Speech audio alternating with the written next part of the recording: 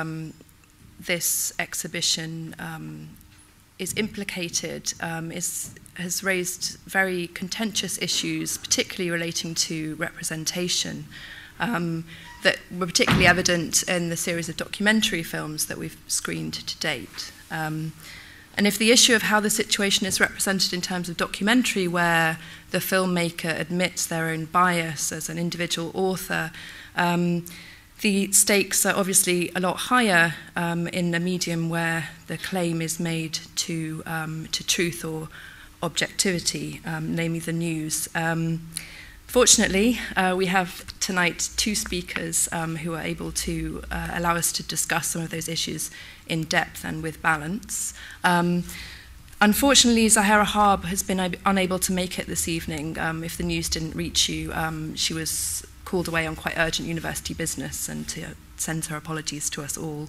Um, but I'm delighted to introduce our two speakers. Um, first of all, Mike Berry, who is a lecturer in film, culture and media at the Faculty of Arts at the University of Nottingham. His research interests are focused around the question of how mass media affects public knowledge and understanding of social and political issues and he's published extensively in the area of news reporting in Israel Palestine. His recent publications, which he's going to discuss, um, include Bad News from Israel and Israel Palestine Contested Histories. We'll begin the evening with Mike giving a, a presentation of about 20 minutes that connects to this research. And um, in response to Mike's research and opening into um, a wider discussion, we're very pleased to welcome back to Nottingham Contemporary for the second time Razia Iqbal, the BBC's arts correspondent from 2003 to 2009. She's currently a special correspondent for the BBC, continuing to report on a variety of foreign and domestic stories for BBC News programmes on television and radio. She joined the BBC in 1989 and has reported extensively on radio and television, from culture to domestic politics, and has been a reporter for the BBC in Pakistan and Sri Lanka. So I'm going to pass over now to Mike, um, who will present on his research. Thank you very much, Mike. You very much, Isabel. Um, first of all, I'd like to um, thank the, um, the gallery for inviting us down here to speak today. I'm going to say I'm going to speak for about 20 minutes about some of the research um, that I conducted on media coverage of the conflict, particularly on the broadcast media coverage of the conflict, and also look at what our research said about how it actually affected public understanding and public debate about, about the conflict. So, essentially, when I try and do research, I try to look at what we call the circuit of communication. So we're interested at one end how messages are produced in the media, so the context in which journalists operate, the various constraints that they operate under. We're interested in the, the, the content of, of media messages, and we're also interested in how they're received by audiences, whether audiences choose to, to accept um, or reject messages and what are the conditions under which they um, accept or reject messages. Okay? So, what we're essentially interested at when we look at content is what we call a thematic analysis. We're interested in how things are explained. And in areas, in, in most areas of um, controversy, there will be alternative ways of explaining social reality. So when you look at a very, very deep, long-standing and contested conflict such as the Israel-Palestine conflict, there are different ways of explaining events. And the way that those events are actually explained is key to how audiences actually understand them. Okay. So the study I'm going to talk about today, I'm going to talk for the main part about the first study, there were two studies. And at the end, I'm going to talk a little bit about the second study. So, the first study we looked at was funded by the Economic and Social Research Council. Um, and we looked, as I say, particularly at television news. We looked at the main mass audience bulletins, which are the bulletins at 6 p.m. and 10 p.m. on BBC and ITV. The reason we focus on those particular bulletins are because there's a great deal of research, and it was backed up by our own research, that these are key bulletins that affect public understanding. So, around 80% of the population rely on the evening news on television for their picture of what goes on in the world, particularly internationally. And it's also true that television news is a much more trusted news source, for instance, than newspapers. So not only is it watched by more people, it's also seen to have a higher truth value. So we analysed about 200 uh, mass audience bulletins on uh, BBC and ITV. We also gave questionnaires to um, 800 individuals. We're interested in trying to pick, get a picture of what people knew about the conflict. So these are some of the questions that we asked. This first research I'm talking about we did between 2000 and 2004 during the period of the um, second uh, Intifada. Um, we also did a, a number of focus groups with um, audience members. Focus groups allow you to get deeper information, richer, qualitative information about how people actually understand issues. Okay? So they allow you, somebody might say, well, I think the conflict's about land. Okay? But if you're in a focus group, you can then ask a probing question what do you mean by land? And that allows you to kind of unpack the way people think. So by, by combining focus groups with questionnaires, you build up a kind of a, a, richer understanding of how people actually understand the conflict and how that's affected by their consumption of media. It also, quite interesting, allows you to um, look at what we describe as the dynamic structure of audience beliefs and how people's beliefs and attitude sometimes change when they come into contact with new forms of information and, and new, new pieces of knowledge. We also use what's called a news writing exercise where we give people photographs and we get them to reconstruct the news. This allows us to evaluate what people have actually retained from watching the news and how the structures of thought and the structures of responsibility and, and legitimation are actually formed um, in their heads. Okay? Um, and we also, during our studies, got quite a lot of strong input from, from uh, journalists. So we brought working journalists from BBC and independent television together and got them to sit in with our, our focus groups of ordinary members of the public. So we were interested in getting journalists to think about how the way they reported actually affected public understanding and knowledge. So um, the purpose was essentially not to criticise individual journalists or, or, or to bash broadcasters, but more to kind of start a debate and get, and, and, and get um, the media to think about how the way they structured their output actually affected public knowledge and understanding. Okay. So, in our analysis of, of, of, of news um, coverage of the Intifada, one of, one of the key things we, we found was that a great deal of the coverage was on decontextualized images of violence and conflict. So this, uh, this accounted, when we actually transcribed news text, to about 28% of the total lines of text. Okay? And when we spoke to ordinary members of the public, this is what they tended to take from coverage of the Israel-Palestine conflict. It's, it's bombs, it, it's killing, it's blood, it's, it's suicide bombings, etc., etc. What we also found was that there was very, very little explanation about why the two sides were actually in conflict. Okay? And one of the reasons for this, a journalist told us, a BBC journalist told us, that he was told by his news editor not to concentrate on what he called explainers or, or background context, but instead to concentrate on what they call bang bang. Okay, so very, very immediate images of conflict. And the purpose of this, we were told, was in a very, very competitive news environment, was to try and grab the audience and to hold the audience. Okay?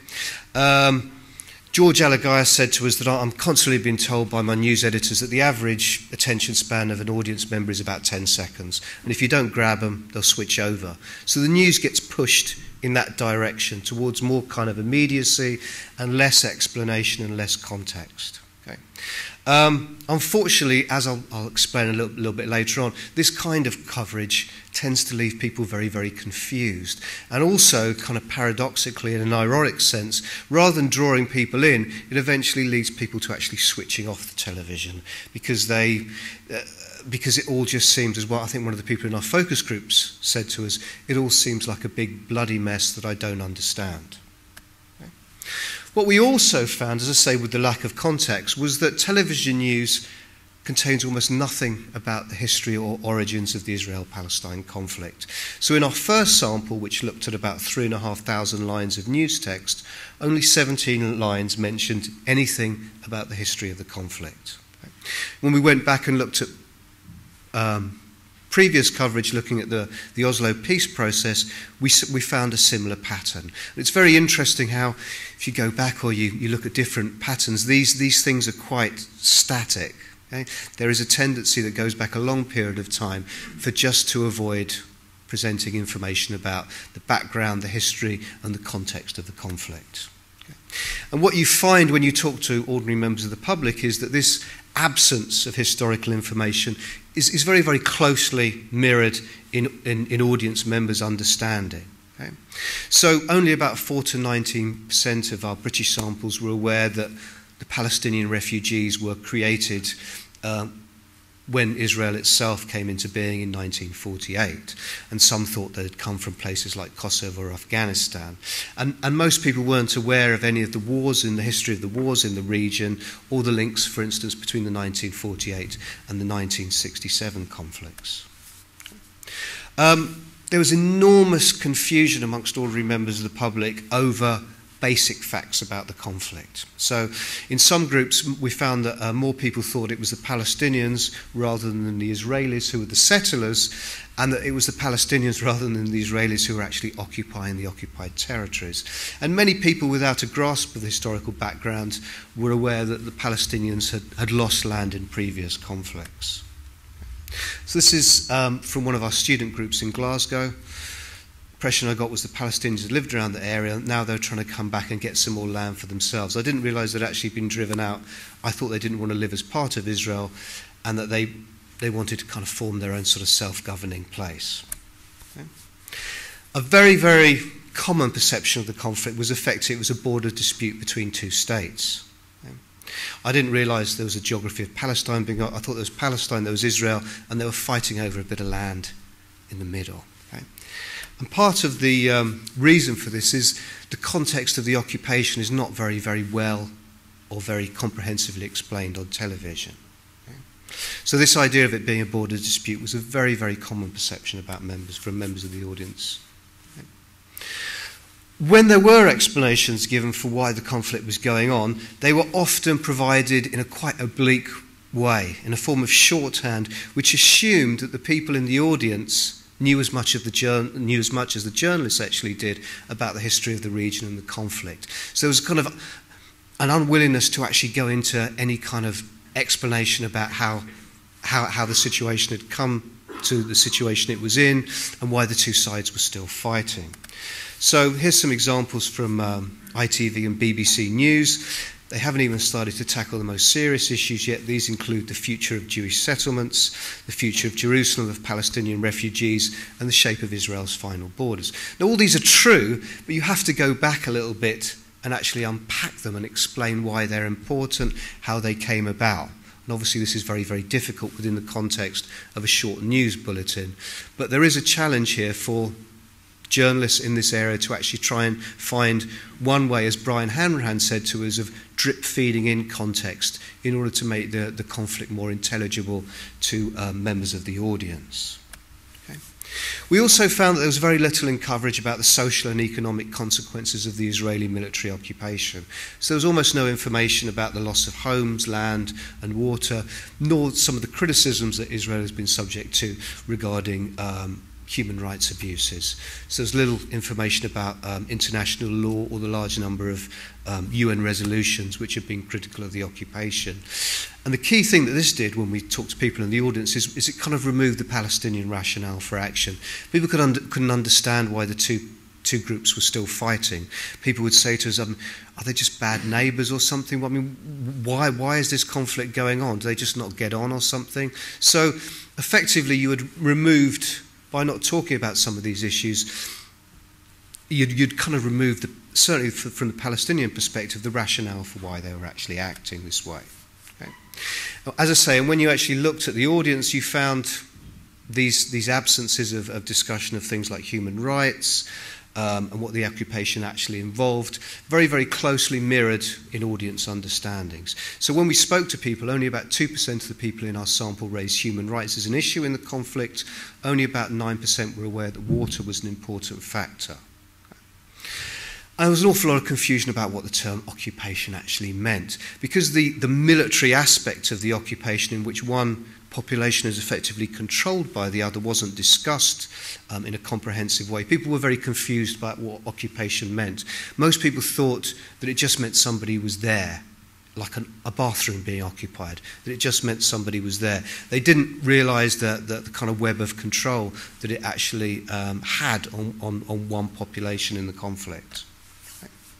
So, without any kind of background or historical conflict, or virtually none, um, we found that a lot of the reporting tended to focus around immediate day to day issues. And here we found two very clear ex- explanatory patterns in conflict.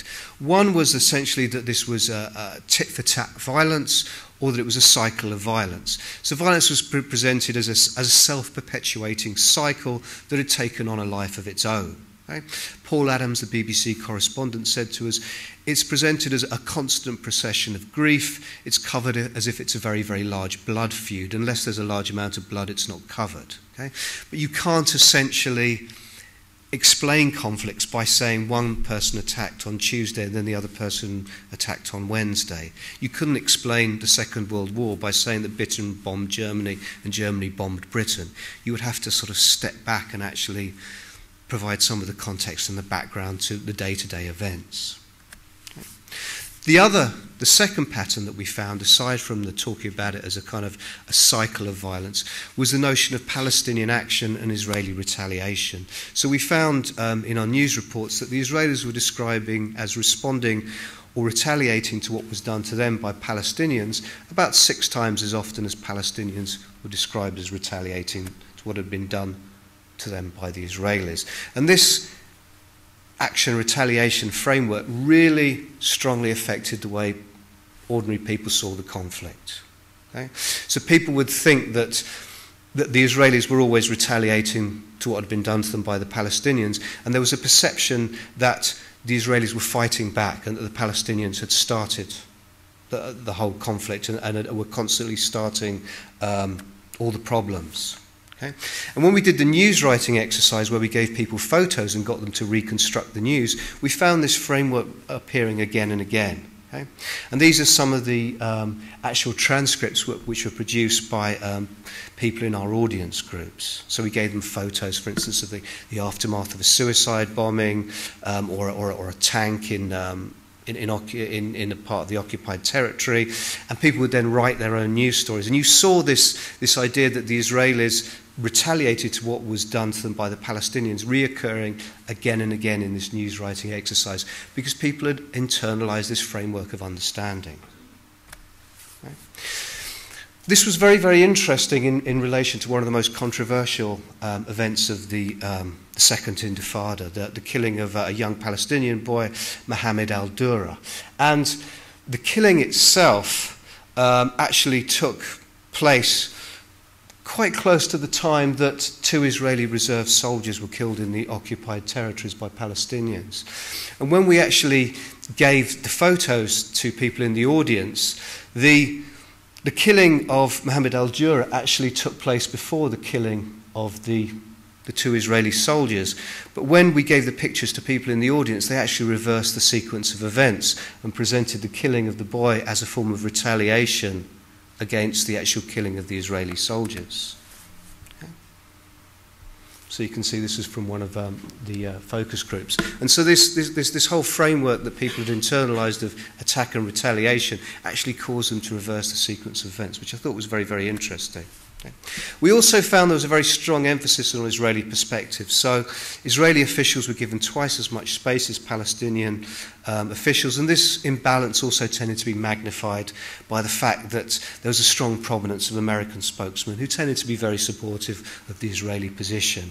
And there was no attempt to kind of balance this by providing. Um, uh, sources who were supportive of the Palestinians, perhaps from the wider Arab or Muslim world. Um, and sometimes we found that um, some of the Israeli perspectives were directly endorsed by journalists. Um, there's a difference between journalists obviously saying um, this, is, this is how the Israelis see it, this is how the Palestinians see it, this is how it is. Okay? But we found sometimes that in the conflict, journalists did directly endorse one particular perspective on the conflict. There are two clear perspectives on the way the conflict should be seen an Israeli and a Palestinian one. And all we argue in our research is essentially that if you're going to have a proper debate about it and, and if reporting is going to be balanced, you need to provide both sides of the story because there are cl- clearly two different narratives about the conflict. Okay. Here's another one from the um, Wye Accords, where um, one of the journalists there, Stephen Sackur, is asked what are the main obstacles to peace, and effectively he provides the Israeli perspective on what the main obstacles to peace are, that they're all about um, security guarantees and arresting militants. And obviously, Palestinians wouldn't see that from this perspective at all. Um, you could also see this tendency some, to often um, favour the Israeli policy, uh, perspective could be seen in controversial instances. As I say, going back to the Mohammed al Dura killing, the Palestinians certainly saw that killing as a deliberate act. Right? The Israelis argued that it was accidental, that the boy had been killed in the crossfire. And what we found when we looked at the coverage was that the Israeli perspective that this was, this was an accident and the, and the boy had merely been killed in the crossfire um, predominated in coverage. Okay, so when there was a, a contested account of a particular event, we did find that the Israeli account was featured much more prominently. Um, and when we looked at the news writing exercise, ordinary members of the public had internalized this and they actually reproduced these news reports in a very, very accurate way. This was very interesting. Um, we also found that the Israeli perspective on settlements also predominated. Um, certainly, if you look at respectable historians like um, Avi Shlaim, he's written very, very conclusively about how the settlements have a key role in the maintenance of the occupation. They were, they were built high on, on hilltops in order to um, dominate the Palestinians in the valleys below, and they were also built high on hilltops in order to gain strategic control of land and water resources. They've also been heavily criticised by Israeli um, human rights groups um, for, um, for harassing and for violence against Palestinians in order to try and get the Palestinians to leave so the settlers can take their land. However, when we um, looked at media coverage of the settlements, we found that the, that the Israeli perspective, that effectively these were just vulnerable communities under threat from terrorists and mobs, tended to predominate. Okay? And this view uh, and, and the coverage actually rarely featured information about the role of the settlements in the occupation and the fact that, that they're widely seen under international law as being illegal. Okay. So, from the BBC, one regular target for Palestinian gunmen is the Israeli settlement. It's intensely vulnerable, high on a hill, surrounded on all sides by Palestinian territory. Actually, I mean, they don't actually say that under international law it's actually seen as on Palestinian territory. Strangely enough, it, it's surrounded by Palestinian territory. And when we actually talked to ordinary members of the public, we found this was the kind of view that, strangely enough, they'd also internalized. Okay? So this is what they thought of as of settlements. I think you sometimes get the impression that these people happen to just want to live there, and the military backup is in pursuit of their peaceful wish to want to go. That's the impression that I got, rather than it being a military occupation. Okay? And some of the people in, that we spoke to, ordinary members of Parliament, were very shocked to find out that these settlements controlled a huge part of the occupied territories, nearly 40%. This is from a middle class male in Glasgow. I had no idea I was gobsmacked. I saw them as small and battled and surrounded by hostile Palestinians. That's entirely thanks to watching television news. And you could see when people come into contact with different kinds of information, this particular person had seen a, a John Pil- Pilger documentary on the settlements, the way that it challenged what they'd actually seen on the news and, and caused them to kind of revise their, um, their view on the conflict. Okay. We also found other things, such as the fact that during the conflict there was more ca- coverage actually given to Israeli casualties, even though the Palestinians during the Second Intifada um, were dying at a much higher level. Okay. And this affected audience beliefs, so that, for instance, in um, one of our samples, about 40% of the sample thought that actually the Israelis had more casualties or that they were approximately equal. Though during virtually the whole of the Intifada it was about four to one in terms of um, the level of casualties between the two sides. There was also different language used by um, broadcasters for the deaths on each side. So, for instance, um, the words like murder, um, uh, lynching, um, uh, some of the words that were used. Just want to actually just go back a minute. one of the things we looked at, I, I mentioned before about the killing of the, the two Israeli reservists who, who had gone into Ramallah. Around the same time, 13 Israeli Arabs were killed um, in Tel Aviv, Jaffa, and, and um, Bat Yam. It was, this was described um, as a pogrom by an Israeli peace group, um, and um, it was reported very critically in parts of the press. Um, When we actually looked how it was reported on television news, it was reported in a much more um, euphemistic way. Um, passions on all sides were still running high. Even in Tel Aviv, violence had now hit the streets. There were angry Jews looking for Arab victims. Okay? Some Israeli citizens are taking matters into their own hands. Last night, a Jewish mob attacked uh, a mosque in the city of Tiberias. However, when we looked at the killing of two Israelis, there was a very, very different kind of language that was used to describe the killing of the Israelis. It was also highlighted in coverage via headlines. And here's some examples from BBC One. A frenzied mob. Um, Israeli soldiers arrested and the mob were baying for blood. Um, Palestinians could be seen savagely beating and stabbing soldiers to death. Okay? They'd been barbarically killed. Now, People were killed in horrific ways by both sides in this conflict.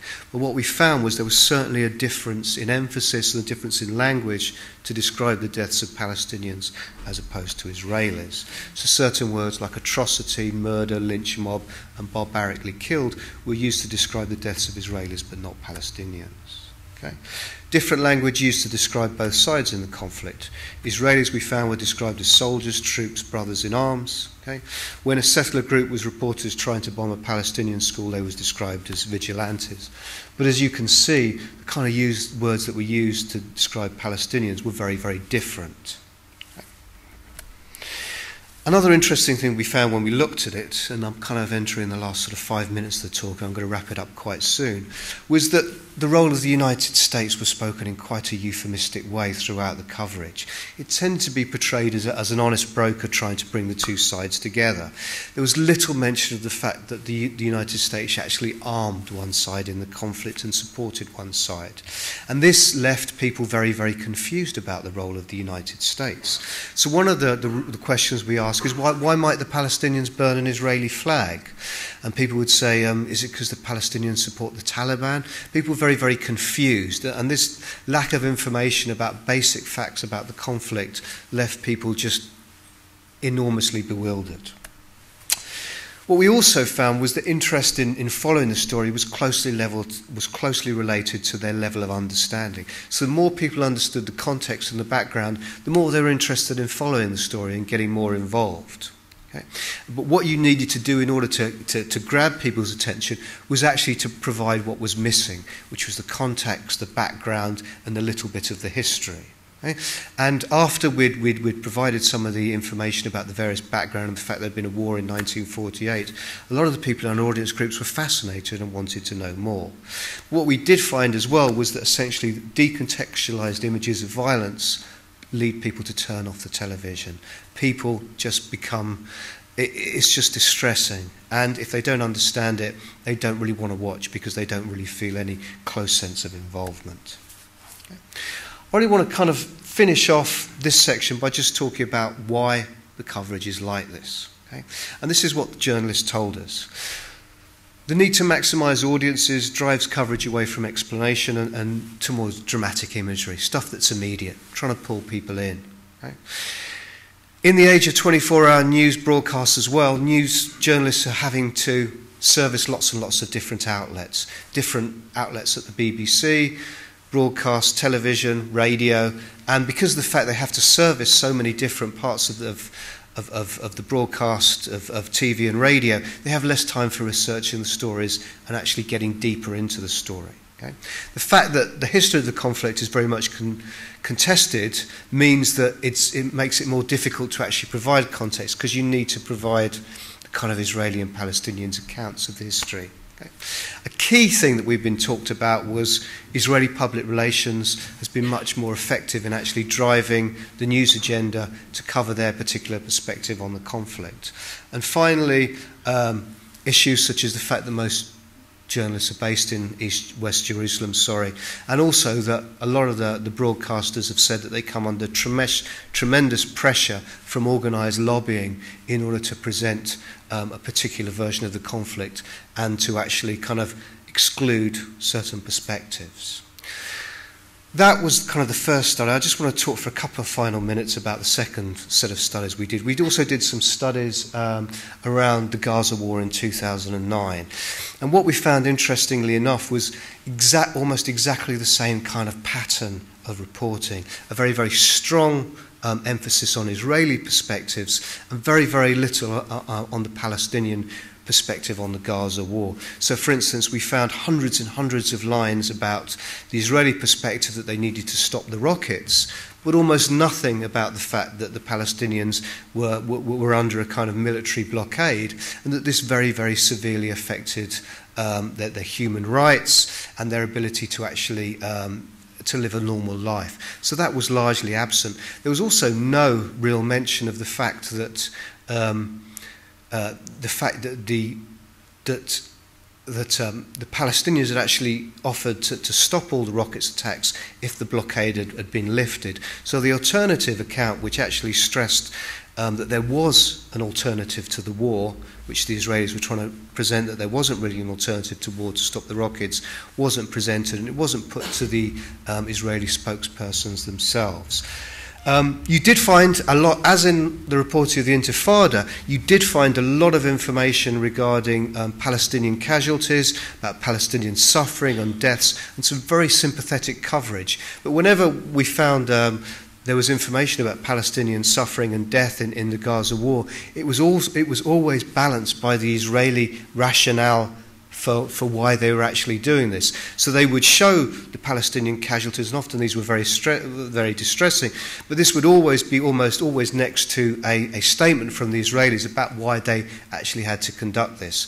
And what we found when we actually did audience groups on this, in this area as well, was that generally speaking, the, the, the ordinary members of the public um, weren't aware that there was an option of actually um, having a truce and stopping the rocket attacks if the siege had been lifted. And also, they tended to blame the Palestinians because they thought the Palestinians had all brought it on themselves by actually doing the rockets. And there was no real um, awareness amongst most people that they were actually living under a form of siege um, in which um, the, their, their, their, their access to the outside world was blocked and there were serious social consequences for this. Okay, I think I've probably talked for about 25 minutes. I've gone a bit over my time, so I'll probably um, wrap it up now and um, pass it over to. Uh, Thank you very much, um, Mike. And um, I just want to say thank you very much for, to, to all of you for, for coming, because I think it's just extraordinary that you've all turned out on a, what are we, Wednesday evening? Um, uh, fascinating research, Mike, because it just seems to me, the, the things that occur to me immediately are two things. From the point of view of broadcasters, um, including the BBC, obviously being one of, one of the biggest, they, they would probably argue that they come under quite a lot of pressure from Israelis saying that they're not sympathetic to the Israeli side. Uh-huh. And, and yet, what you're saying for the ordinary members of the public who are the reason why the BBC exists, uh-huh. that we're actually failing them. That we're, that, I mean, that seems to be the underlying conclusion of, of, of what all the research that you've done, that we've, we've fundamentally failed to explain the story effectively. It certainly left a lot of people confused. The bulk of the people in the audience are just fundamentally confused about um, basic facts about the um, about the conflict. And this isn't because people don't watch the news, because in the news writing exercise, we actually get an opportunity because people write their own news reports. We give them photographs and they, and they get to write their own news reports. So we get to see what they've actually taken from news. And the really astonishing thing is how close the, the, the, things they actually write are to actual news reports. So all the people have actually seen the news reports, they've lodged in their mind, they can remember them, but they're utterly confused about the most basic facets of, of the conflict. And this is largely due to the fact that there's an unwillingness to explain, particularly the, the Palestinian perspective on why the conflict is going on. There isn't really that much explanation of I mean, there's, there's a lot more explanation of the Israeli um, perspective, but there really isn't hardly any explanation about why the two sides are fighting or how it could realistically, the conflict could be brought to an end. And that's really, really fundamental because it, it prevents there being an opportunity to actually have a rational public debate about how we might actually bring the conflict to an end. I, I wonder if, if, if we can just explore some of the things that you some of the things that you you've been talking about. Because it seems to me that there is on the one side you know your focus is the audience and the public's understanding of this incredibly contentious issue.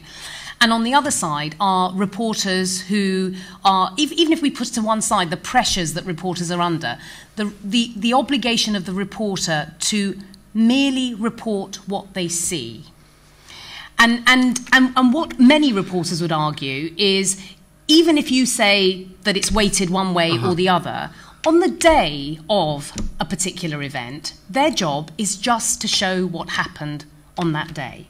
And you could argue that Brian Hanrahan's mm-hmm. notion of the kind of drip drip uh-huh. contextualization will happen over a period of time. And you're saying it just really doesn't. Well, we, we looked at over a very, very, I mean, we, we analysed 200 bulletins over four years and there just wasn't any context at all virtually. The shocking statistic for me was the 3,500 lines, 17 lines of context. I mean, that just kind of made me go, whoa. I, I do also have to say that um, I do remember a while ago sitting watching BBC News 24 and there's a segment on there where the BBC makes great play about that we don't just do the how, why, and what, but we do very, very interesting. The key question we want to ask is the why. And this is what's kind of missing the why. Why are these two sides fighting? Why is this conflict so bitter and, uh, and intractable? Why can't we bring it to a resolution? And, and what really would need to be done in order to to, to, to, bring the conflict to an end. And the BBC really does pride itself on, on this whole this whole notion that it's there to, to explain um, you know, events in the world, but we really have to say in this area, it, it, it doesn't seem to have explained it very, very well at all. Do you think? Uh, I mean, you know, I'm, I'm not here to defend the BBC um, in in the in the context of the research that you've done, but uh, but I do think you know, having worked on the six o'clock news and the ten o'clock news, that you know, they're they're 25 minute bulletins, Absolutely. which have to serve an audience that predominantly has uh, an interest in national stories. Okay, so for, so foreign stories, by their very nature, will not get onto those bulletins uh-huh. unless they are really big. You know, and we've seen that shift massively over the last year with the Arab Spring, and and generally post 9/11 the you know prevailing interest in in what happens beyond our borders is is much more compelling to editors and because it has because it affects us and so they're making the connections much more. But i just wonder whether there is a there is a case to be made that that that you it, you know, when you've got those very, very short bulletins, you know, should should the responsibility of the broadcaster be to have longer stories on, say, uh-huh. a foreign story? You know, say because a lot of these bulletins, you know, and I know from having been a reporter, you you're lucky if you get two and a half minutes per story. Okay, two and a half minutes for a story is a long time. Normally, uh, say it's somebody, you know, a horrible murder, say in Nottingham a minute and a half is what you'd get on the six o'clock news. Okay, a foreign story, two and a half minutes, possibly three if it was specially commissioned, a lot of money went into it, it was invested with, you know, resources, etc. Three minutes is not very long to include no. a big chunk of historical Absolutely. context, however much as a reporter you might want to include it. Absolutely. All I would say in terms of that is that. Um, often these bulletins weren't only three minutes, often these were extended bulletins of, of, of, segments of up to 10 minutes, just because of the fact that this story was on day after day after right. day.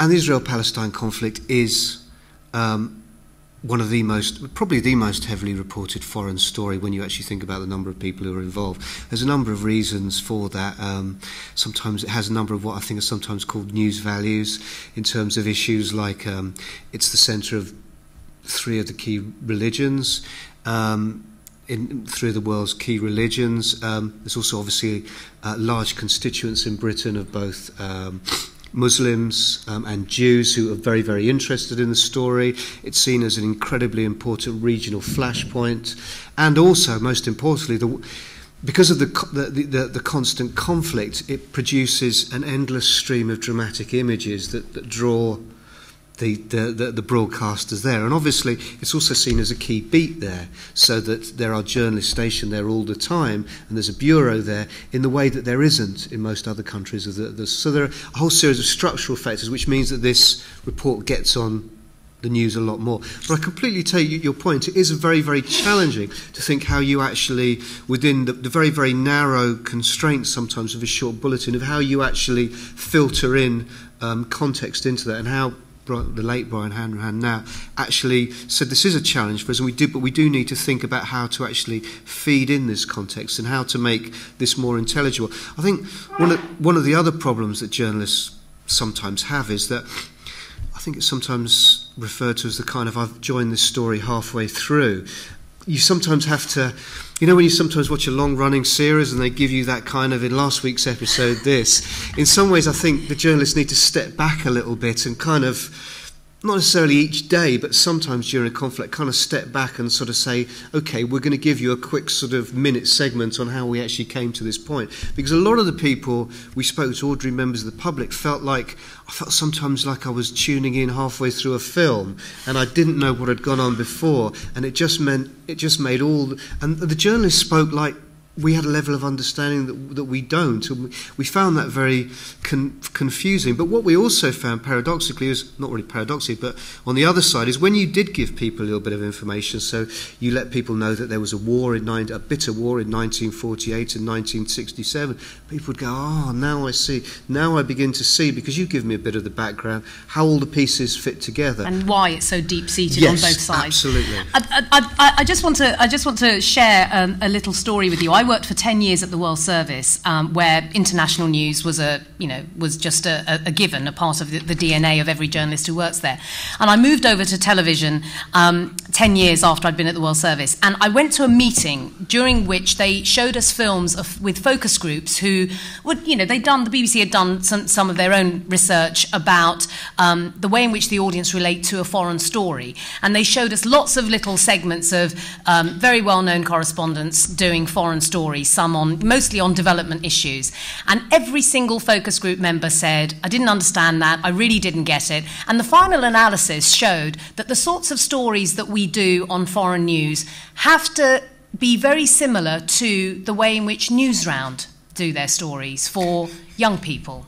And, and it's when you do stories in that very, very simple way on television, people tend to understand them. And that, and that obviously shocked a lot of the people in the audience who all saw themselves as, you know, very uh, you know, worldly, intelligent, serious people. And they were like, well, you know, what do you want us to do? You want us to spell it out? And that was a real revelation. Absolutely. And but but but what I wanted to ask you, I, I, when in the middle of you talking, I, it did occur to me two things I want to ask you. What did the um, what did the broadcasters make of your research first of all? And secondly what did the israelis you mentioned the kind of you know the israeli publicity machine. Uh-huh. what did the israelis make of it? Because i started by saying that that there is a perception certainly inside the bbc and we see it virtually every time someone like mark regev comes on and is interviewed about a particular incident, he very often accuses the BBC of being pro-Palestinian. Mm-hmm. So, so give me a sense of what the reaction was from the broadcaster's point of view and from the key players on, on each side to your research. Um, well, certainly from the broadcaster's point of view, was was a little bit defensive. Roger Mosey um, wrote a an, uh, a letter in the, um, the, actually I think a comment. So he was the head of news at the time yes. when you were doing the research. And one of the things he said to us, well, you know, you, you, did you did a fair bit of your audience research with you know young people, and they're a very difficult group to actually, um, you know, to, to actually engage. to engage, which which is that's a fair point. They are a difficult group to engage. And he also said, well, you know, they can always go to the BBC website if they feel there isn't enough context, or they can watch a doc- they can watch a documentary. And our point was, you know, generally speaking, most people won't do that. I mean, there is a you know you have a segment of the population who will do that, who are very, very interested, who will, you know, they'll, they'll tune into documentaries, they'll do background reading people on this. this audience, no Absolutely, because obviously all you, all the people who've come down here today are really interested in, in, in the subject. But for, for your average viewer at home, they want they want to get it from the news and, and they, they, they will probably sit most nights in, in front of the news and you know there's been an awful lot of, of talk about the fragmentation of the audience and multi-platforms and all this but you know the actual audience for BBC and ITV, that the main evening bulletins, has held up actually remarkably well. And this really in the is face of Twitter and et cetera, absolutely, et cetera, yeah. and and it's still the kind of key source of information for most people about what's going on in the world. So, what goes on there is absolutely crucial, and you can't really kind of abrogate your responsibilities to inform people because the BBC and ITV make a big play about how they have this enormous responsibility to inform and how they're so keen to actually do this. In terms terms of the Israelis, I think I think the Israelis read, read the report and I think they kind of took on board a lot of the messages. Um, certainly, the, the Israelis have done an enormous amount of audience research in terms of how to actually phrase. Um, how to phrase their arguments and how to pitch their arguments in order to make them appeal to different audiences. And there are key things that you do. You have a message, you have a high status spokesman who speaks good English, and you repeat the same message over and over and over again, and you make sure that you um, get on and you have a clear message. And you also make sure that you understand how to um, pitch arguments in certain directions. Now, we had a certain document that, that came into um, our possession that we, we came across on the internet, which was produced by the Israeli Project, which is an Israeli lobbying group. And it was produced by, I think, Frank Luntz, who was uh, a, uh, a pollster, for the, yeah. uh, the, the Republicans. And um, I mean, he is he's absolutely the creme de la creme in terms of research. And this research was absolutely astonishing. And it gave you a do's and don'ts and, and which words to use and which arguments to use um, in terms of if, if, you, if you were a Jewish person and you wanted to try and put the case for Israel and, and you were debating with somebody. And, and the level of the sophistication of, of the arguments and the research was really staggering. And it, and, it, and it was absolutely brilliant. We have to, you know, you, you have to take your hat off to the level of professionalism about this research. But certainly I think the Israelis read our, our, our research and um, when we did the second stuff on the Gaza war, and we showed um, the fact that the Israeli perspectives were so much more heavily featured than the Israeli and the Palestinian perspectives on the reasons behind the conflict, their own research showed exactly the same thing, interestingly enough. So their research was actually showing um, exactly the same as, uh, as what our research was, and it was probably also saying exactly the same in terms of. Um, what it actually said about who had actually won the propaganda war over that conflict.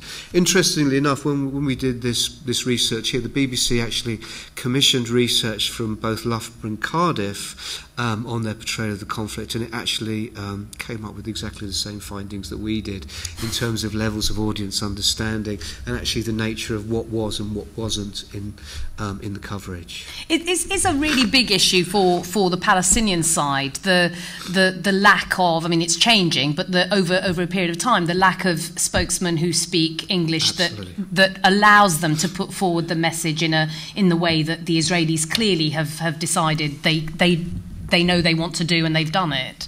Absolutely. I mean, I mean, particularly. I mean, I think they've improved a little bit um, recently. Um, they now have speech, spokesmen who do actually speak clear English, but you can't express how important when you're speaking to an international audience, particularly if you can be interviewed in a, in a high status setting, in a, you know, if, if you have the opportunity to be interviewed in, in a newsroom or, I mean, one of the problems we found in the Intifada that a lot of the Palestinian interviews were, were conducted down a crackly phone line to Ramallah, and that has a whole different status in, in terms of how that comes across to the audience. And one of the other key problems for the Palestinians was that Yasser Arafat, during the time before his death, when he was still dominant, um, tended to have his cronies around him. And these were the people who were used as his spokespeople. Mm. These, these people spoke poor English, they, they couldn't get their point across clearly, um, and, and they just didn't have a sophisticated public relations output. And when you speak to journalists about the Israeli side, they say, you know, the Israeli side are, are bombarding with press releases they're every day. Yeah. They're, they're organised. And if you have effective public relations, this can serve to kind of drive the news agenda. And it's, and it's very, it's, it's a very, very, I can't overestimate what a key aspect it is in actually influencing the actual uh, agenda of um, international news organisations. I've got lots more questions, but I'm sure people in the audience have as well. And and I'm very mindful of the time. So um, there are roving microphones. Um, please put your hand up. Take part. Lady in the front is. Um, yes, I'd like to respond very briefly or to comment. Of course. Can, may I have a microphone? Just trying to figure it out. Um, good evening. Um, Miss Iqbal, she mentioned pressure brought to bear from both camps, the Palestinian and the Israeli camp, for um, fairness. perspective, for maybe, yeah. fairness, Yeah. yes.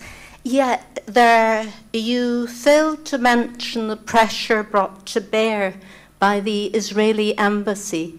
I especially remember during the Gaza invasion and massacre that journalists with the BBC actually said they weren't really free to report what they saw or um, report fairly because they actually lived in fear of the telephone call from the Israeli embassy.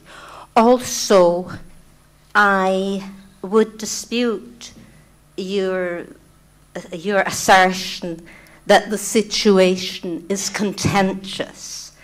Um, Israel um, constantly breaks international laws and countless UN resolutions, and yet you assert that this is contentious. There's nothing really contentious about that. And these are my comments. Okay, thank you very much. Um, the gentleman up there, just.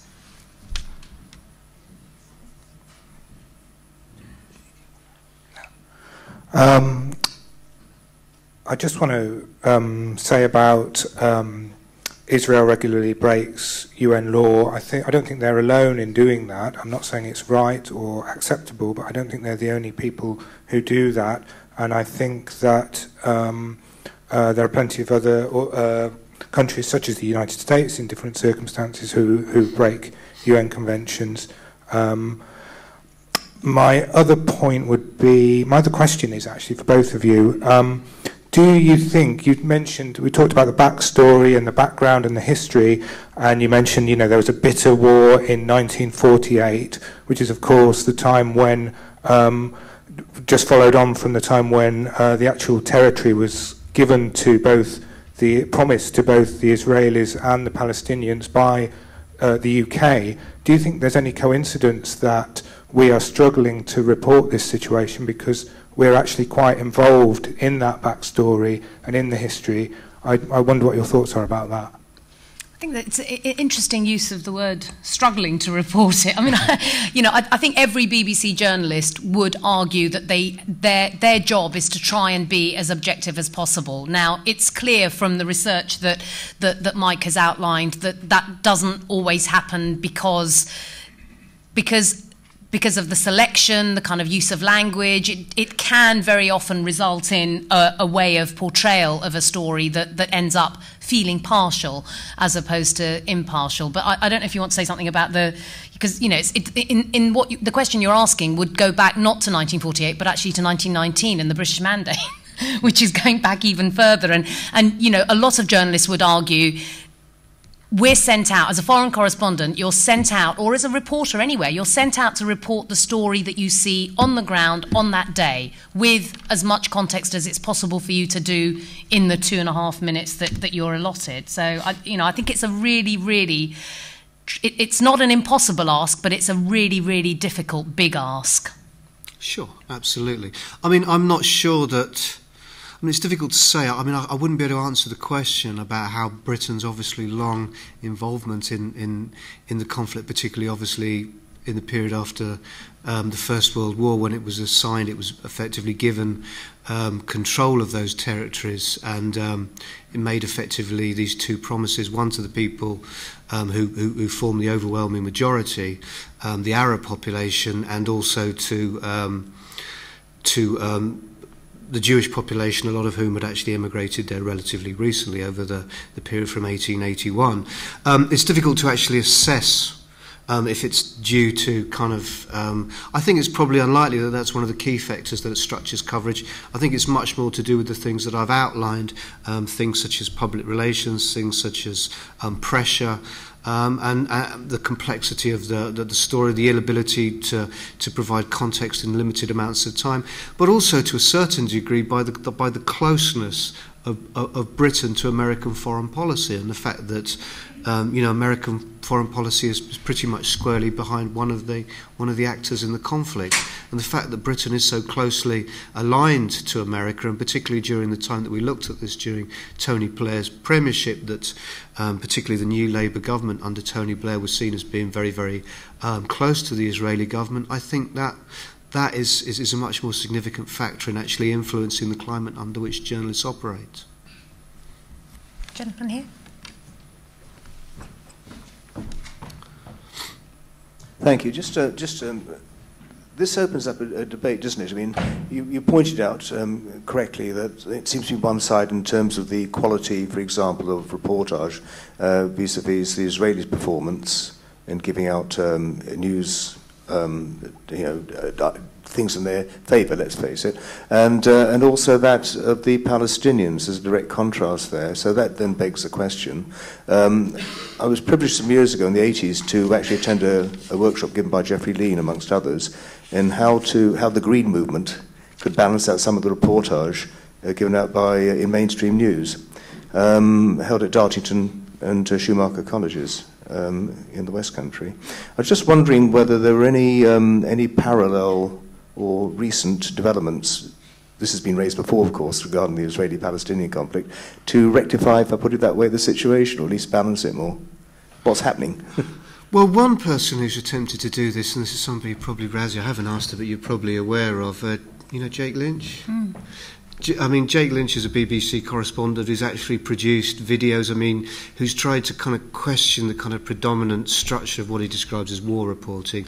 And he said you, need to kind of step back and do reporting in a different way. And rather than just reporting on the kind of immediate violence, you have to sometimes step back and try to contextualize why um, the two sides got. And he said what's also very, very important, he says a lot of the reporting actually presents it as being two monolithic blocks who are completely opposed to each other, when actually it's actually a lot more complicated than that. You have diff different constituencies in each side, and you actually have it's unfortunately shrunk in the last decade, but you actually uh, certainly used to have quite a, a, strong part of the Israeli left, which was actually very critical of the, of the state's policies.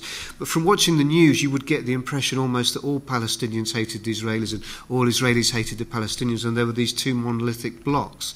When actually he suggested, you know, you should concentrate more on people who are actually trying to resolve the conflict. There are um, Israeli women who go to checkpoints and who serve on things like Checkpoint Watch to, to make sure, try and present Palestinians being mistreated there.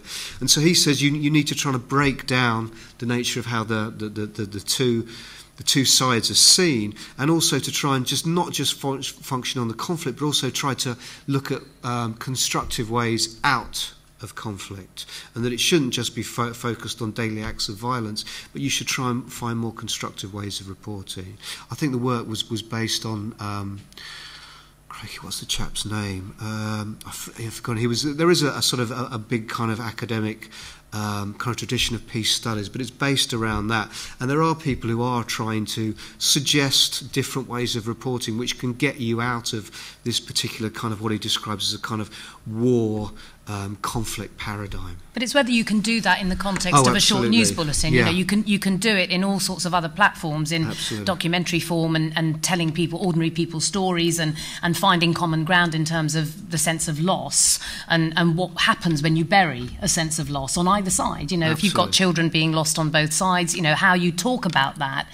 But that doesn't necessarily make it easier to do that in a in a kind of very very conventional, very structured news um, environment. Well, that's maybe why we need to kind of think a little outside bit outside the box, the box yeah, and no, think about enough. if there is different ways. I mean, I've never seen a report on the BBC hardly about the refuseniks and the fact that there are, you know, there is a constituency in Israel which is uncomfortable with Yeah, it was a fantastic documentary on Channel 4 about the um, about the, the, the Israeli soldiers who Yes. decided that they really could not be part of, of the state structure that was doing things that they you know found were, were morally reprehensible. I wonder if you think though that there has been it seems to me that there has been a um, a shift in, in public awareness and knowledge, despite what your report and your research shows. Because in the 1960s and 70s, you know, young people from this country routinely went to Israel to mm-hmm. work on and live in kibbutzim, and, and now they just don't, you know. And there are far more young people who are um, sympathetic to the Palestinian cause in a way that just wasn't the case in the 60s and the 70s. I think there may be some high profile people at universities and demonstrations, but certainly amongst the general population, that's not what we found. So when we look, mm. for instance, and asked people, you know, who was to blame for the Gaza war, most of the people either said the two sides were equally to blame or else it was the Palestinians. Hmm. Interesting. More questions. Um, guy in the front, and then the lady in the second row. Yeah. Um, my name is Tony Simpson. Um, I wanted to pay tribute, first of all, to the exhibition upstairs which I think tells a story which not many of us knew um, before it arrived about the story about the Palestinian Parliament and where it is in Jerusalem and the rest. And really, if there was an opportunity for a, a, a, TV story or a radio story on any broadcaster, um, then that might be appropriate uh, for such a story. But I also wanted to register a protest, which is that um, um, the Gaza onslaught Christmas 2008 into 2009 was bracketed at one end by Christmas. They didn't start bombing until Monday. And it had to be finished before President Obama was inaugurated in the United States. So we had four weeks of dreadful onslaught, merciless killing, crimes of undescribable horror. And then Mark Thompson refused to issue the International Appeal for Humanitarian Aid. Um, and it was his decision. By the Disasters Emergency Committee, Indeed, yeah. which is an independent body.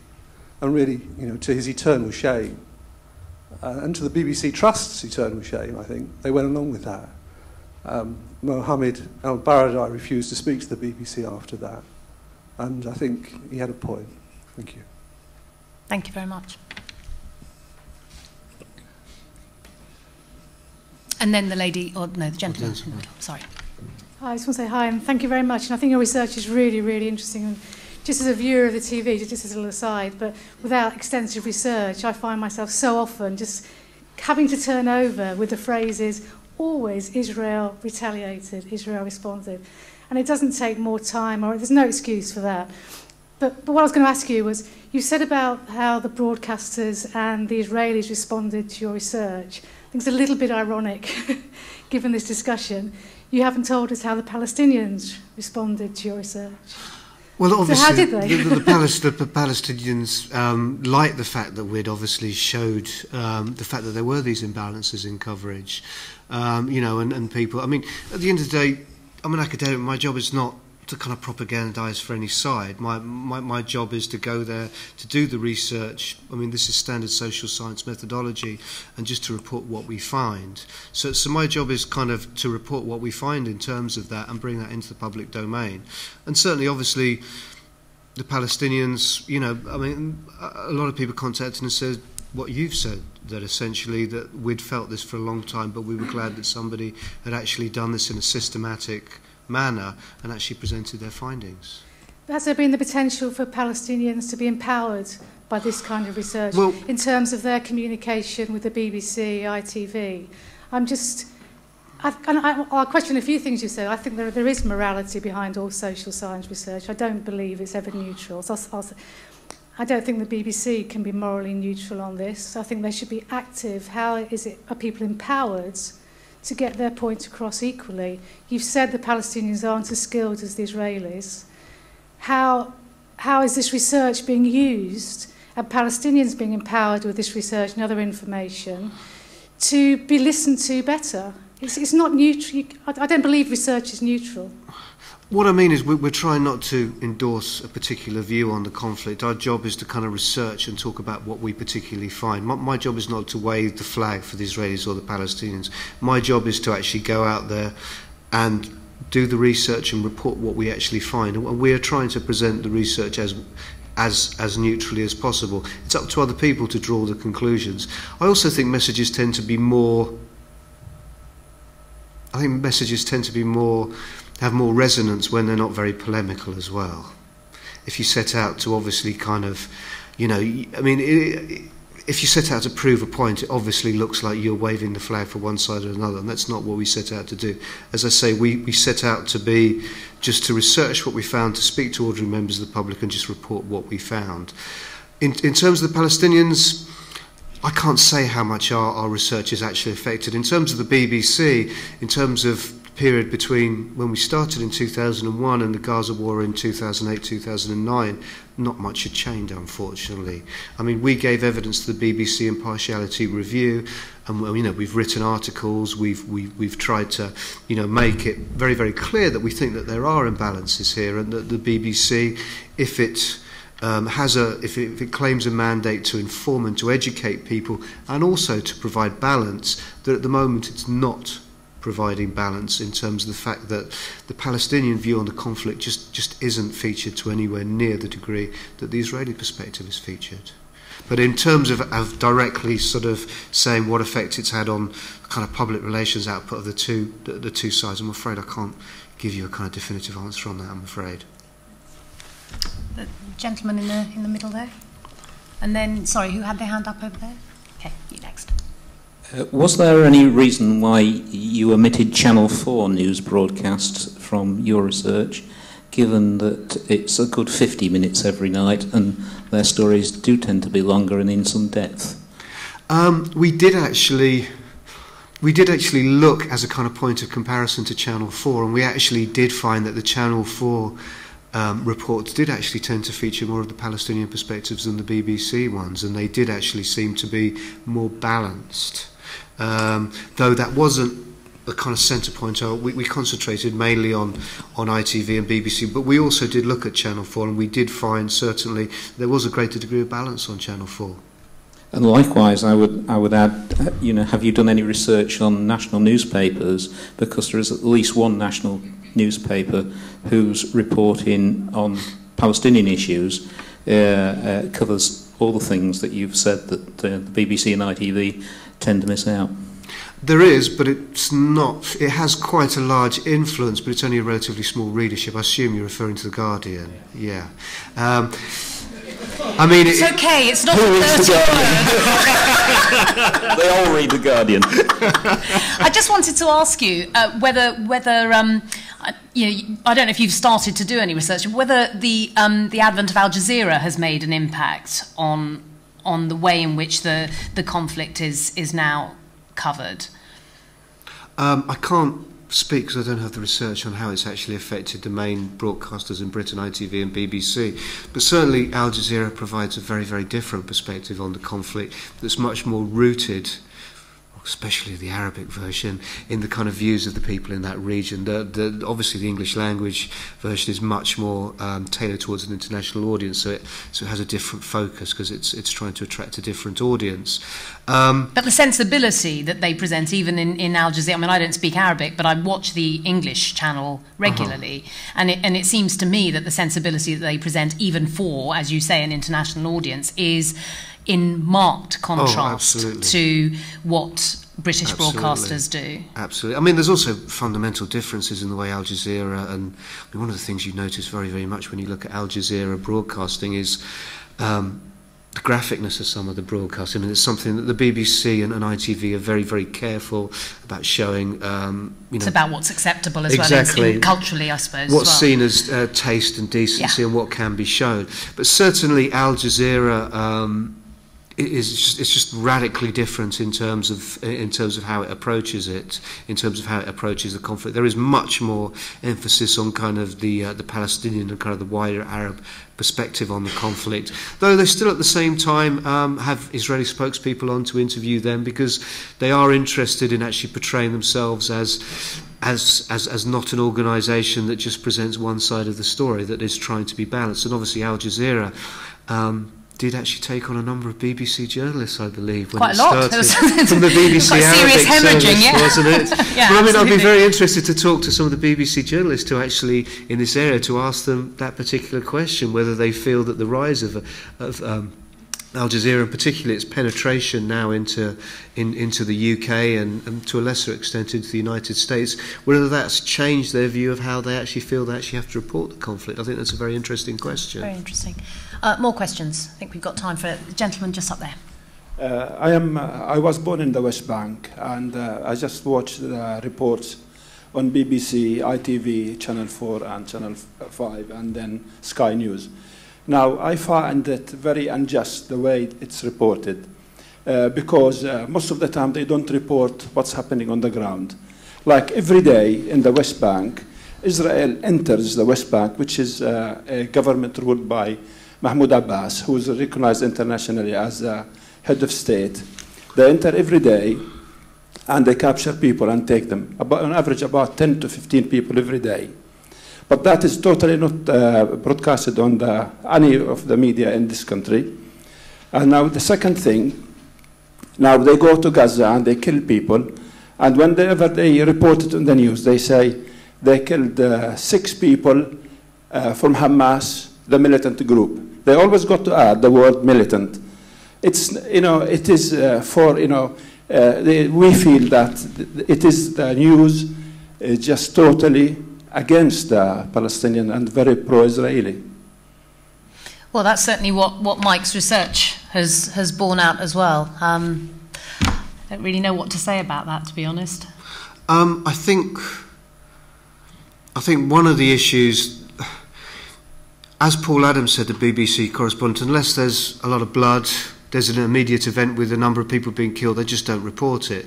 And so one of the things that we found, and this kind of conclude, concurs with what you said, is the daily living conditions of Palestinians, what it means to be living under occupation, the fact that you can't leave your village, the fact that you have to have a, a, a, an ID card that you have to show, the fact that there are checkpoints, the fact that these basic things that hugely impact on people's ability to live a normal life, they're largely absent from coverage. And I, I would absolutely agree with you. That is what we found when we looked at the coverage. Uh, 648 checkpoints in areas smaller than maybe Yorkshire or even maybe Nottinghamshire.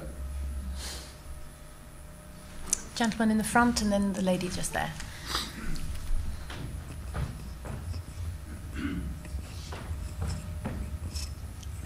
Hi, um, thank you again for a great discussion. Um, my question to Mike and maybe Razia would like to comment as well is um, clearly there's a lot of factors going into the reasons why there's such disparity between the reality on the ground and the coverage, um, at least the, the, BBC and ITV coverage you look, you've looked at. And my question is to how much or to, to what extent is this um, can be this can this be traced to um, maybe this sort of identification with one side as ours and the other side as another you, you know some sort of neo-orientalist sort of view of the conflict as the, the Palestinians yeah. yeah the Palestinians are the other side and these so even if the journalist sort of um, you know tries to be objective they you know without maybe realizing it they, they sort of internalize the the conflict as uh, one side that is more or less of people like us, mm-hmm. i.e., the Israelis, Western minded, people who talk like us, who think and, and sort of um, can be seen to represent people who look like us, and, and the Palestinians who are alien, who are strange and talk differently, and therefore it's easier for people to, you know, in, in their reportage to, to sort of, sh- you know, sing, you know, slip into this sort of Oh, that's a very difficult very question to answer. I can't answer that question in, in any kind of way. It was actually when we did the focus groups, one of the people who sat in on our focus groups, because he was interested in exactly that question, was the filmmaker Ken Loach. He was interested to know do people feel more of a cultural affinity to these people because they're seen as being more westernized? If you have a Palestinian um, who who looks slightly different, who's, who's, who's you know whose whose whose cultural behaviour may be slightly more removed. And, uh, uh, and, less likely to speak English yes, as well. absolutely. That, yeah. Does that mean we feel less empathy for those people? He was very fascinated by that question. If somebody appears culturally different, is, is there, does that sense of difference mean that we, we lose that sense of empathy with them? Um, that's a very, very difficult question to answer. I'm afraid I don't have the answer for that. But it is certainly something um, to think about. I mean, I think there may be a certain degree to which, but I mean, actually, you know, I'm, I'm not really prepared to speculate. But it, doesn't that. it go to the heart of, of what you were saying about research not being neutral? I mean, we, we approach ev- you know ev- our daily lives in our relationships with everybody. We come with a certain set of perceptions, perspectives, baggage, and so you could argue, and it's a it's a different debate, but I think it's possible to to argue cogently on both sides that that it's not possible to have objective news. That it really is not possible. There is no such thing. You can aspire to it. You can you can say we're going to put certain things in place that make it possible for us to pursue the truth or pursue perhaps not even the truth pursue um, an ideal where we present both sides. But but because of all those things because of the way in which human dynamics works it's not possible that the selection of stories if you look at any news bulletin on any given day a different editor may choose a different selection of stories or choose a different um, set of people to comment on them.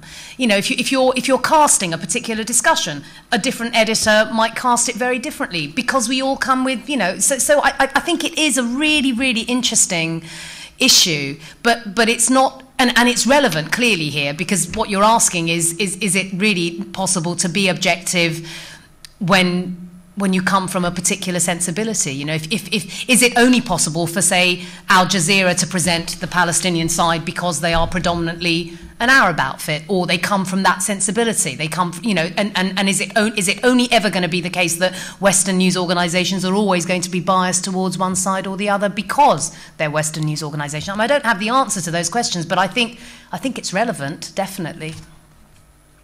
Um, there was a hand there. Um, yeah, that was. Um, it's all been very interesting, and the um, the figures and the examples on there, and um, yeah, I'm thinking that um, there was a lot of examples of Islamophobia in there. You know, referring to terrorists and so on, and that actually we see that in the press around all themes. You know, there was um, when I, I listened to the news quiz um, last week, and there was as, a lot of stuff about, I've forgotten his name, um, speaking in public, but the um, Muslim preacher. There was a lot of jokes Abu about Abu Qatada. Yeah, jokes about his name and this kind of thing going on. And, um, and I do think that um, it's a reflection of the Islamophobia in our culture.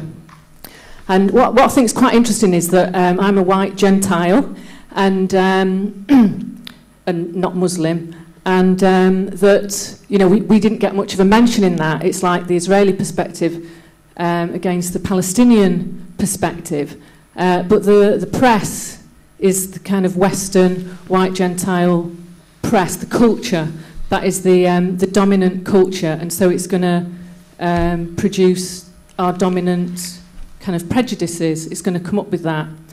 Um, and I also think that um, what, what Yeah, and I think that what, what happens is that um, that's how the conflict is presented, that it's the Israelis against the Palestinians. It's these two groups, you know, for Gentiles, you know, they're, they're both a bit dodgy and um, they're in conflict and they can't sort it out and that somehow we haven't got any responsibility. And, and even that, like, you know, the press are somehow victims of the Israelis because they're getting hassled to put a certain kind of view across.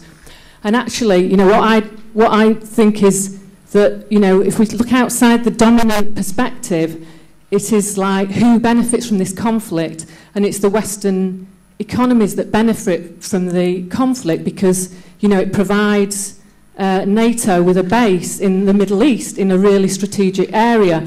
And so, you know, while that conflict's going, the West has more power in that area. And, and if there was peace in that area, you know, if um, Israelis and Palestinians uh, were, were together and united, then um, that would cause difficulties uh, for the West. And I think the setup reflects um, the anti-Semitism of, um, of our culture, which is that, you know, historically for years and years, uh, Jews have been allowed into a country to take a middle agent role um, to, to stand between the ruling classes and the working classes.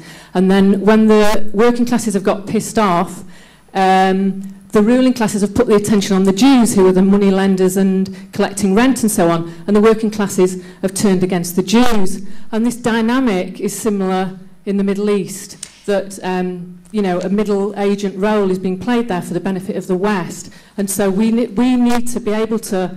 You know, if we're going to get rid of that conflict and, and put a proper perspective, we need to kind of hold both peoples and um, you know, hold both people's perspectives, but not set them up against each other, but um, look at what perspective we are pushing and how we're benefiting from it. Thank you. Uh, Mike, certainly when the Glasgow Media Group started their investigations um, in, in media coverage, power structures was very much one of the things that, that, that they looked at, right? Yeah, you've been doing your research. yeah, um, I mean, obviously, I wasn't involved in the early work back in the mid 70s, but um, you know, one of the key things we were interested in. You talked very interestingly there about how. Um, you know, on any given day, a, a news editor might use different sources. one of the key things you find when you look at historically over a long period of time is that certain kinds of sources tend to predominate. And certainly an institution like the BBC will structure its coverage around what it sees as an acceptable range of debate, and that tends to be because of the constitutional settlement in this country and where the BBC sits within that, that it tends to be the spectrum of opinion that's at Westminster, and it's difficult. I mean, you can see it most clearly in question time, where you kind of got one blue, one red, and, and, and one yellow, and then maybe a couple of mavericks. But there is that sort of sense that, um, you know, important people, you know, official sources, and there's lots of them unfortunately research that's, that, that backs this up. Essentially, a, a lot of the media is kind of a, a conversation amongst people who have power um, and, and kind of uh, high status official sources, and these can come to be primary definers who actually kind of um, structure and um, talk and, and set the parameters for debate. I mean, I'm actually doing some research um, on the Today programme and the reporting of the banking crisis, One of the most interesting things you find is that during the banking crisis, the main people who are the spokesmen for the who actually came to define the crisis were the bankers and the hedge fund managers themselves. And if you want to get critical um, opinions about the, the nature of the financial sector and its maybe malign role in the UK economy, the people you don't really want to get on to talk about that are the bankers. So by choosing certain sort of pe people as, as, your, as your range of sources, you can delimit opinion and, and, and the range of sources that you actually have on television is very, and, and obviously on radio and, and different forms of media, can be very, very significant in kind of um, narrowing the range of debate that you actually have. One last question, I think. Okay, two. Guy there, and then the guy there. And then we're going to have to wrap it up. Hi.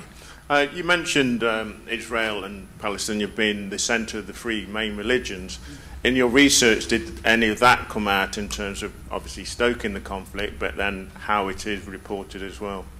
Yes. Uh, sorry, and then there is sorry. a second question. uh, and the second question is, um, it's gone now. No.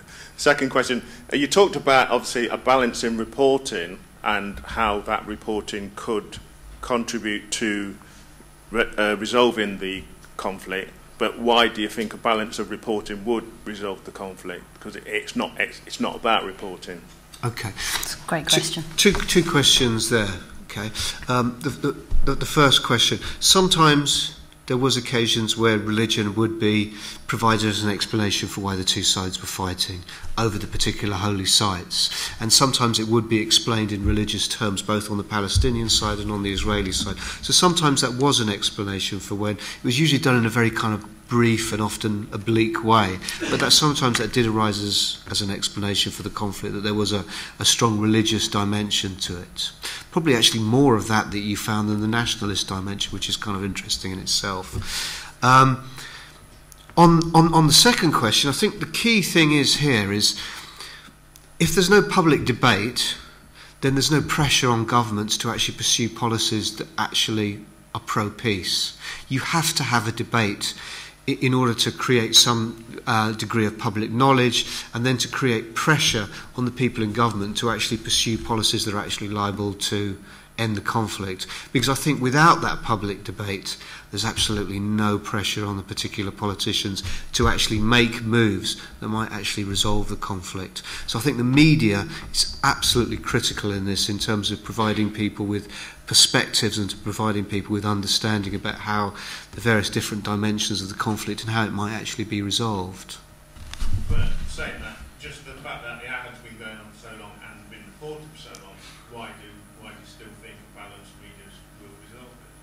Um, I'm not saying that it's the only thing or that it will automatically resolve it, but I think it will help. I mean, I, I, I, I just think having an informed population on any particular issue does affect the dynamics of political decision making.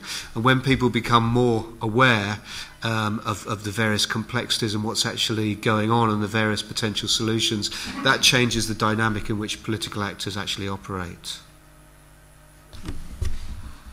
Gentlemen. Uh, hi, hi, hi. yeah, I want to challenge the issue of way how the the only the latest issue of of of the debate of of of of of how the BBC is going along with the Israeli line that that, that actually Iran wants to to build nuclear weapons and and and and, and wipe it off the face of of of of, of the earth for instance. Um um it's how how they've also our politicians uh, sort of uh, are part of the brain as well, how they've twisted language um, um, um, because the, the Iranians have said they never had uh, uh, threatened actually, actually, actually Israel military talk unless unless Israel actually attacks Iran. They said they would they they would they would actually respond, but but but but but it seems to be uh, the whole political establishment seemed to be going by the Israeli line. Well, we're certainly seeing a, a serious ra uh, ratcheting up of the propaganda war on both sides there, aren't we? I believe I saw one of one of the um, reports from one of the kind of strategic defence intelligence reports that they thought there was a 50% chance of um, war by April and a 60% chance of war by September, yeah. and also understand that um, there's been a number of um, financial bets taken on what they call fat tails on, on the price of oil. One that it will fall because of the um, the fact that they believe there's going to be a lot of um, new um, oil coming on, on stream over the next 12 months, particularly in the United States, with particular forms of deep oil drilling. And secondly, the fact that there's, so there's bets taken that the price of oil might fall because of that and also uh, slow down in the world economy, but also. Um, bets taken on there's going to be a big spike because there's, there's, there's really a strong anticipation that there is likely to be a war um, in the Middle East. Um, and nobody really quite knows the consequences of that, but obviously it could be extremely serious. On that incredibly pessimistic note, uh, we, we, are going to have to uh, call it a day. Um, I'd like to thank um, Mike Berry very much indeed uh, for his research and for talking about it so um, cogently. Thank you very much indeed. And thank you all for your great questions and comments, and thank you to the Nottingham Contemporary for having this discussion. Thank you. Thanks very much,